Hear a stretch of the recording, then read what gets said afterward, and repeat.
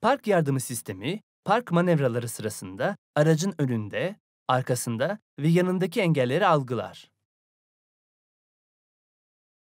Size sesli uyarılar verir ve nesne yaklaştıkça uyarının frekansı yükselir.